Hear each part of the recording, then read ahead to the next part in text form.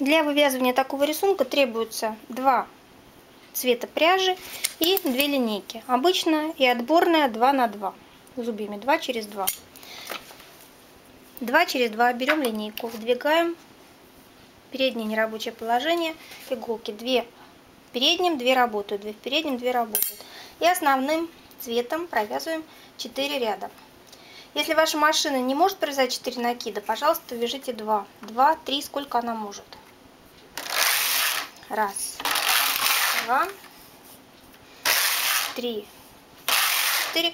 Я веду 4 э, ряда для того, чтобы выйти к отделочной нити. Все иглы ставим в рабочее положение, провязываем 2 ряда отделкой. Эти же самые иголки переднее нерабочее положение. Опять основным цветом 4 ряда.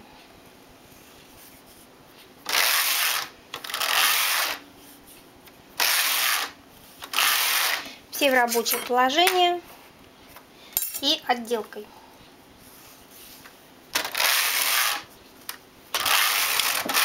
Так, три раза мы выставляем в переднее рабочее положение одни и те же иголки.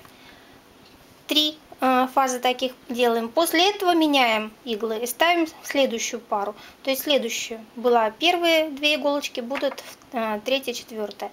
Первая, вторая, три раза провязали вот такой вот рисунок, поставили э, в раб... нерабочее положение следующую пару, третья, четвертая.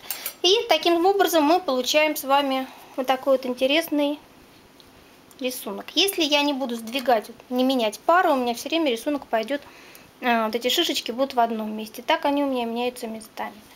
По рапорту а, плотность рекомендую делать посвободнее, потому что а, большое количество накидов, такие плотные фанги получаются, очень жестковатое вязание. Потом плотность посвободнее и вяжем